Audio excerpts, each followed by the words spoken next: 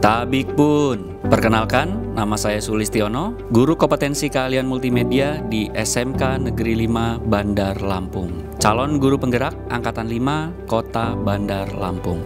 Menjadi guru adalah sebuah kebanggaan dan jalan hidup saya sampai saat ini. Saya mulai menjadi guru sejak tahun 2003 sebagai guru mata pelajaran Teknologi Informasi dan Komunikasi atau TIK di SMA Negeri 5 Bandar Lampung.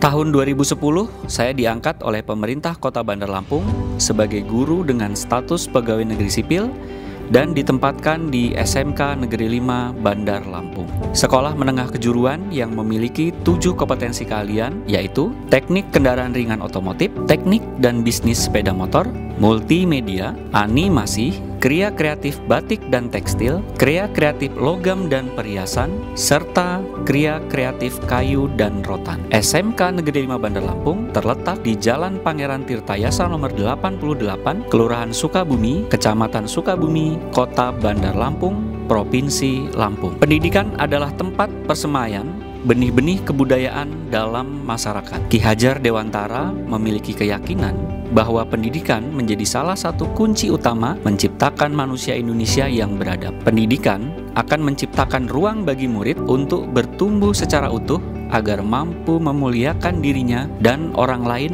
serta menjadi mandiri. Pengalaman selama kurang lebih tujuh tahun sebagai guru di SMA Negeri 5 Bandar Lampung menjadikan saya mulai memahami dan menyadari bagaimana karakter setiap peserta didik itu unik, beragam, dan memiliki kelebihan serta kebutuhan akan pengajaran yang berbeda antara satu peserta didik dengan peserta didik lainnya.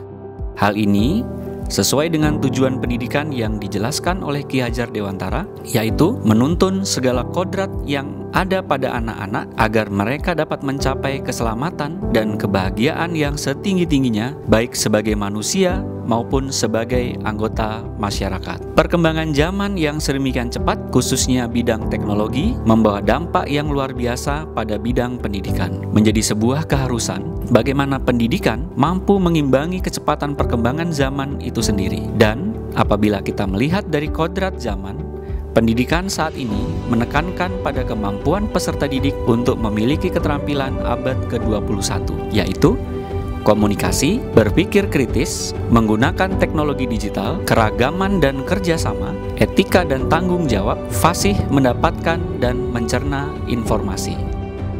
Tantangan menjadi guru ketika memberikan pembelajaran menjadi semakin bertambah ketika saya menyadari bahwa hakikat pendidikan tidak hanya menciptakan manusia yang menguasai berbagai pengetahuan dan teknologi terkini, tetapi juga bagaimana menciptakan manusia yang berwatak, berkarakter, dan berbudi pekerti luhur. Bagi saya, mengajar di SMK Negeri 5 Bandar Lampung pada kompetensi kalian multimedia adalah suatu hal yang menyenangkan, di mana peserta didiknya adalah mereka yang memiliki peminatan, bakat, atau passion terhadap teknologi bidang kemultimediaan, jaringan komputer, komputer maintenance, desain grafis, fotografi, broadcasting dan film, serta animasi.